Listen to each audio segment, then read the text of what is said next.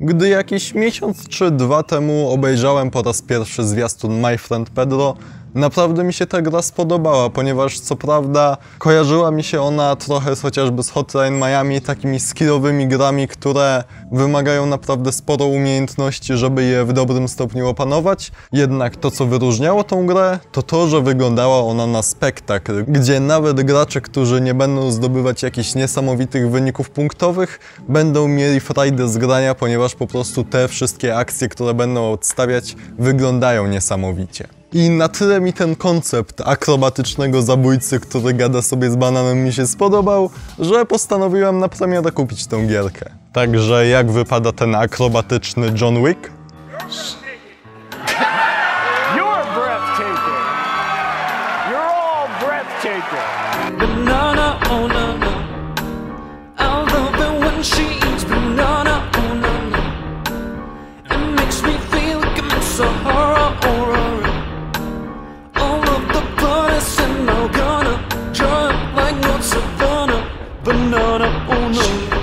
Głównym bohaterem w My Friend Pedro jest koleś w masce bez imienia, bez głosu i w ogóle bez niczego, jedynie z dwoma pistoletami, które służą za jego środki wyrazu. Natomiast ma on przyjaciela tytułowego Pedro, który jest bananem. Bo czemu nie? Banan ten będzie nam towarzyszył przez całą grę, będzie na początku każdego poziomu komentował w jakiś humorystyczny sposób jego scenarię, to co tam się dzieje i ogólnie rzuca on tutaj często różnymi żartami, które dla niektórych mogą być nieśmieszne, ale mnie osobiście bardzo bawiły. Chociaż oczywiście fabuła tutaj nie jest jakąś szczególnie mocną stroną i o ile gra ma kilka ciekawych konceptów, jakiś tam twist na końcu się znajdzie, ale ogólnie wiadomo, nie jest to coś, dlaczego grałoby się w taką grę, chociaż dialogów moim zdaniem nie warto pomijać, można trochę się przy nich uśmiać. Jednak przechodząc już do rozgrywki, to tak jak wspomniałem, sterujemy tutaj głównym bohaterem, który wykonuje akrobację i strzela. I moje początkowe skojarzenie z Hotline Miami jest średnio trafione, bo o ile w Hotline Miami sam nie grałem, to z tego co kojarzę jest to gra, w której i wrogowie i my mamy tylko jedno życie i jest to gra, w której poziomy są bardzo krótkie, której bardzo dużo się ginie, bardzo dużo poziomy się powtarza i dopiero za którymś podejściem udaje się faktycznie poziom przejść. Tymczasem My Friend Pedro ma tutaj zupełnie inne podejście. Jest to gra, w której co prawda ginie się w miarę często, ale nie jakoś bardzo często i wybacza ona bardzo dużo błędów na rzecz tego, żeby właśnie to co robimy wyglądało efektownie. Ponieważ gra oczywiście opiera się na tym, że każdy poziom punktuje, daje odpowiednią rangę i te punkty naliczają się przede wszystkim za to, żeby utrzymać jak najdłużej licznik combo. Licznik combo, który nabijamy właśnie zabijając wrogów, nie zaruje się on w momencie, w którym obrywamy, ponieważ biorąc pod uwagę ile tutaj będziemy obrywać, to by nie miało sensu, więc po prostu najlepiej jest nie przerywać serii zabijania wrogów, wtedy dostajemy najwięcej punktów, no i oczywiście dodatkowe punkty dostajemy za jak najbardziej wymyślne sposoby zabijania wrogów. I właśnie gra przede wszystkim opiera się na tym, jak wiele różnorakich sposobów mordu nam oferuje, ponieważ oczywiście mamy różnorakie spluwy, które z czasem odblokowujemy, które dodają się do koła wyboru broni. Jednak gra co chwila wprowadza jakieś urozmaicenie,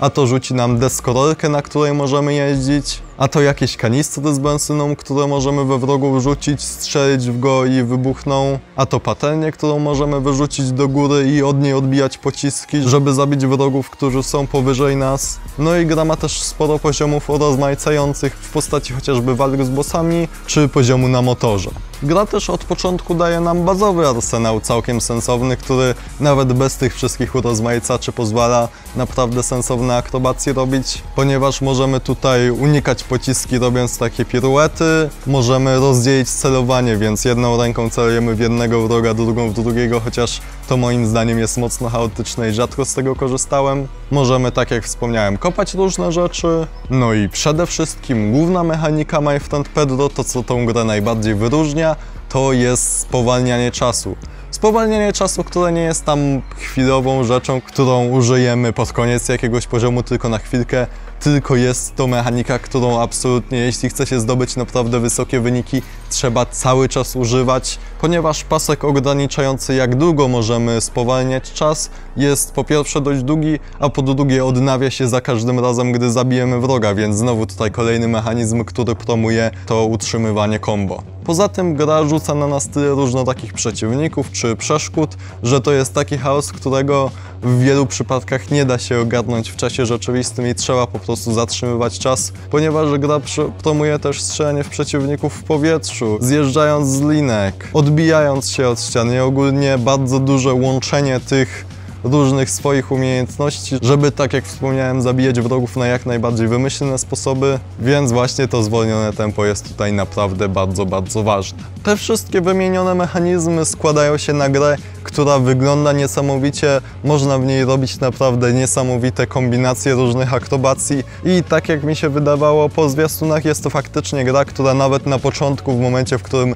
nie ogarniałem wielu rzeczy i tak przez to jak wygląda, przez to jak dzikie akrobacje tutaj można robić, daje naprawdę sporo satysfakcji, ale do tego z czasem, gdy już ogarnąłem sterowanie, trochę bardziej wkręciłem się w tą grę, trochę bardziej zacząłem ogarniać co się dzieje, przestałem dostawać w większości na koniec rangę C tylko B, czasami nawet A mi się zdarzało, no to gra faktycznie potrafi być satysfakcjonująca, gdy już ogarnie się te wszystkie mechanizmy i naprawdę to, co się tam dzieje, potrafi być niesamowite, więc to może być gra, której speedruny, czy jakieś filmiki, w których ludzie będą zdobywać jakieś największe, najwyższe wyniki, to może wyglądać niesamowicie i z chęcią będę takie rzeczy oglądał. Plus też sam prawdopodobnie w tym momencie, w którym już trochę bardziej ogarniam tą grę, chętnie wrócę do wcześniejszych poziomów i spróbuję zdobywać wyższe wyniki. Chociaż niestety problem w tej grze jest taki, że poza tą ocenką na koniec oraz miejscem w leaderboardcach, no to gra nie oferuje żadnej dodatkowej motywacji do śrubowania swoich wyników, żadnych jakichś skórek dla postaci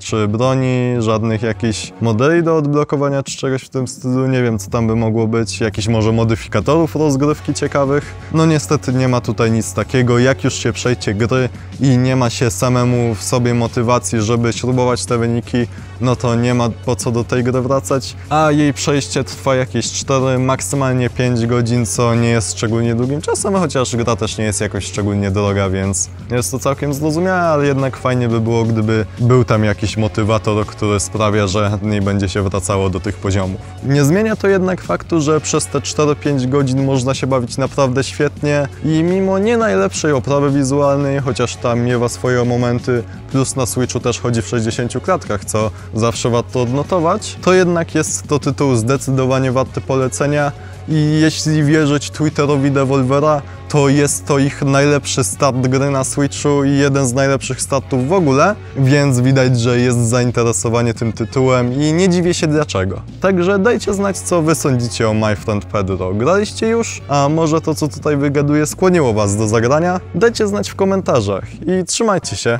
Na razie.